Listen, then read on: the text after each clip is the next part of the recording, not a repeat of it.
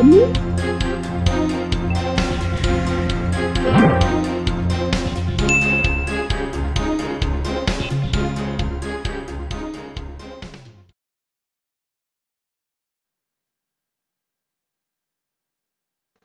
araw po sa inyong lahat. Assalamualaikum. Welcome back po sa ating YouTube channel mga tol.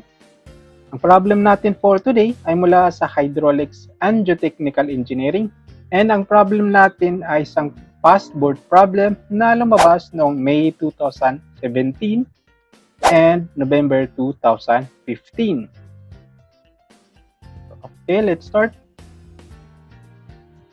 Determine what diameter of pipe will carry 300 liters per minute with a loss of head of 0.5 meter in 300 meters. The friction factor is 0.025. Okay, ang hinahanap dito sa problem ay itong diameter ng pipe. And ito naman yung mga given, discharge, head loss, length ng pipe, and coefficient of friction or friction factor. Okay? Okay, ang hinahanap dito sa problem ay diameter ng pipe.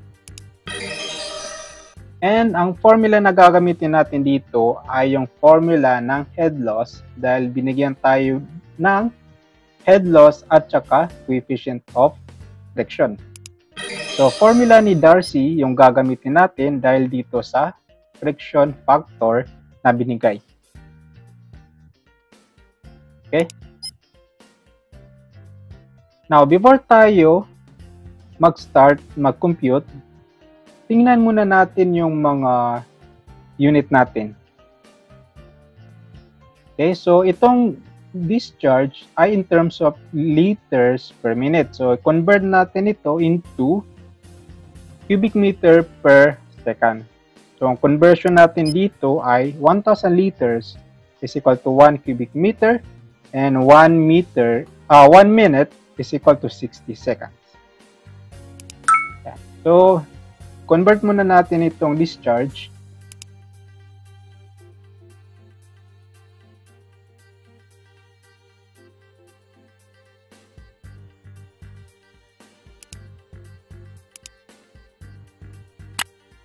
Okay, yan. Na-convert na natin. And pwede na natin ito input sa ating calculator para makuha natin ang diameter ng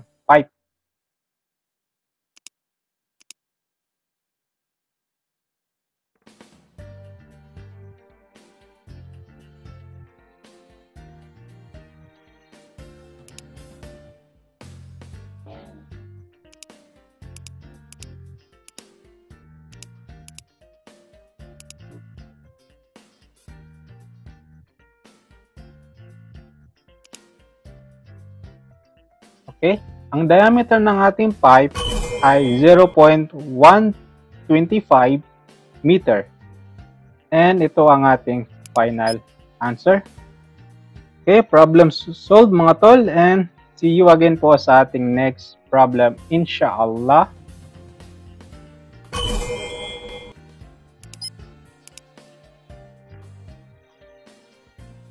And sa mga hindi pa nakapag-subscribe, sa ating YouTube channel, i-click nyo lang po ang subscribe button. And kung gusto niyo po i-follow sa TikTok, click follow. And dito naman sa Facebook, ito naman ang Facebook page ko. I-click nyo lang ang follow.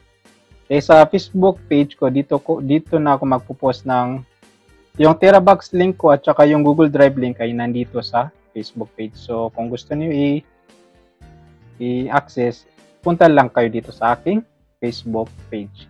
So yun, maraming salamat mga tol and see you again ulit sa ating next problem. Inshallah.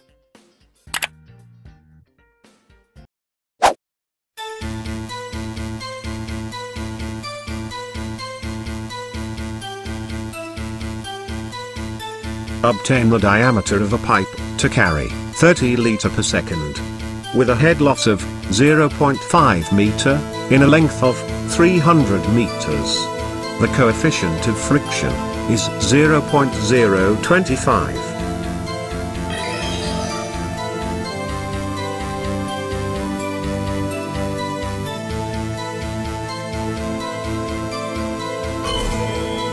Zero point two five seven meter.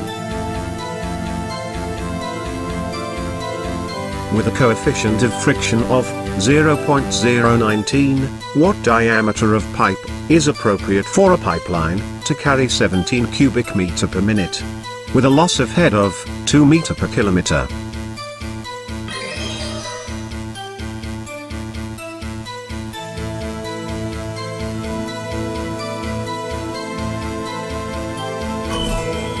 Zero point sixty meter.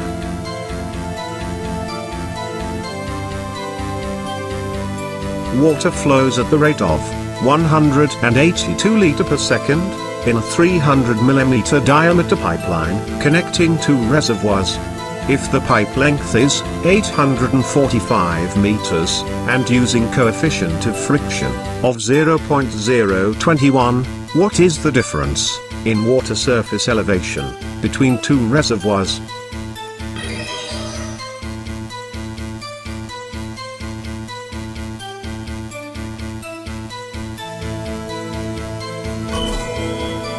Twenty meters.